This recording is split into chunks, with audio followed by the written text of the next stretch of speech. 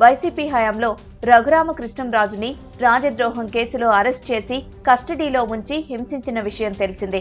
ఈ వ్యవహారంలో అప్పటి సిఐడి అదనపు ఎస్పీ విజయ్ పాల్ను ఈ రోజు రెండోసారి విచారణకు పిలిచిన పోలీసులు ఒంగోలు ఎస్పీ కార్యాలయంలో విచారణ అనంతరం ఆయన్ను అరెస్ట్ చేశారు.